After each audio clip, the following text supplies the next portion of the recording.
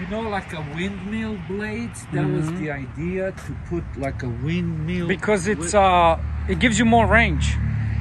yeah. For airflow, airflow. Mm-hmm. It, it pushes. It pushes the air onto the body of the car. Hey, these holes.